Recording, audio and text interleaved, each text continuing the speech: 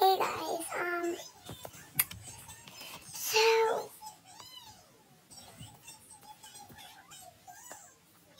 um, I'm choosing three names uh, because I want to, because I want to choose three names that can always talk to me. First up is I Not Meg, and then I'm gonna do my friend Lucy because I already have her on Discord. And then I'm gonna do winter vibes. I'm sorry if I didn't choose you strawberry and jazz. Um, maybe next time. Anyways, you two are in my squad right here. So my squad, my squad so You guys are my squad so far. So,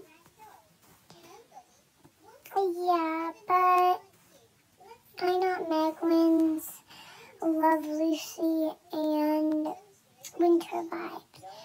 So, um, if you could comment your Discord names here, um, that would be amazing and I could add you on Discord. So yeah, bye.